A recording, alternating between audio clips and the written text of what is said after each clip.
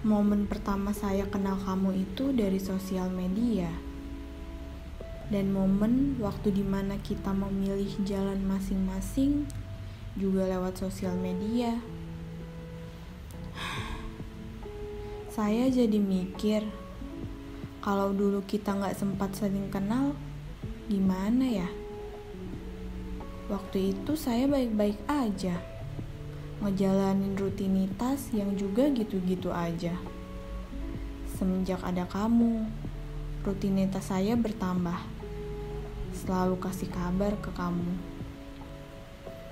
Hubungan yang aneh bisa dibilang, saking anehnya Waktu kita selesai padahal belum mulai apa-apa, saya ngerasa seluruh dunia saya berantakan.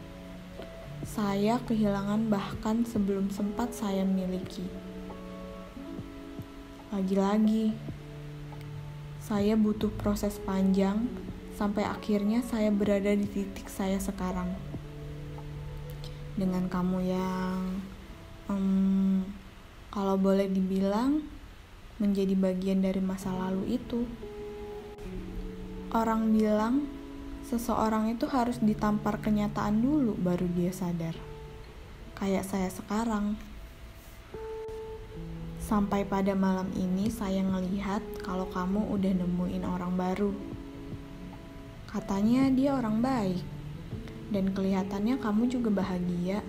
Kayaknya kita berdua memang ditakdirin untuk gak pernah menjadi kita.